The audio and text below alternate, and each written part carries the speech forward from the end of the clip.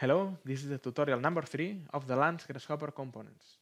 And you will see how to populate an area with a random distribution of individual plants. Okay, we have seen already how to insert one plant and basically we'll do the same thing but instead of one point we will uh, define a list of uh, several points. So first of all I will draw a curve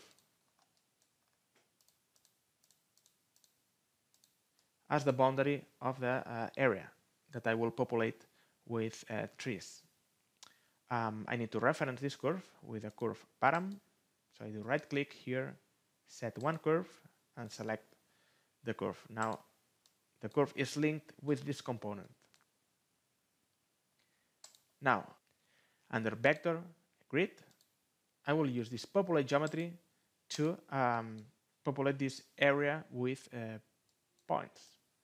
If I connect this directly to the geometry, I see that the points are distributed under the line, and I don't want this.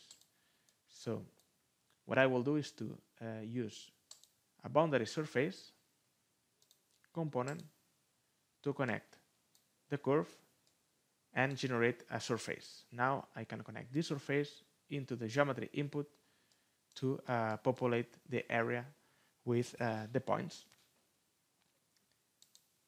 under the params numeric slider, I can uh, edit this slider to make it an integer value. I will define a maximum number of points of 100 units, for example, and a minimum of 1. And this will be the number of points inside this area. Now I just need to connect these points with the position of the plants